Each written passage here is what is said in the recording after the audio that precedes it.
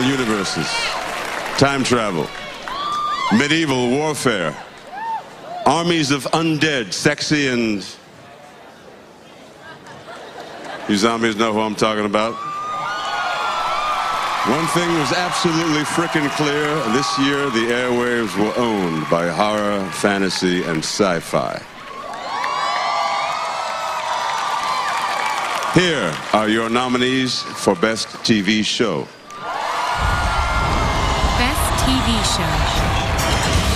Doctor Who. Look how cool this stuff is. Surprise! What is that box? The police box. Can't you read? Got a go. Got company. Game of Thrones. I, the House Stark, sentence you to die.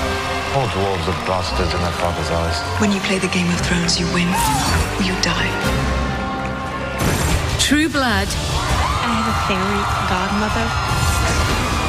You may have dominion over us, but you do not over the living. We meet again. Fringe. You gonna kill me? He's gonna die, Peter. You can't predict the future. There must be another way. The Walking Dead.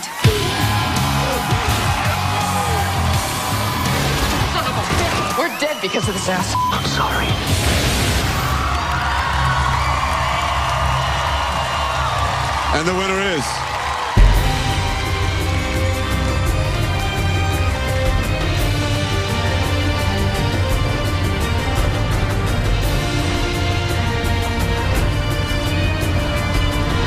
Game of Thrones. Accepting for Game of Thrones is Sean Bean and Lena Headey.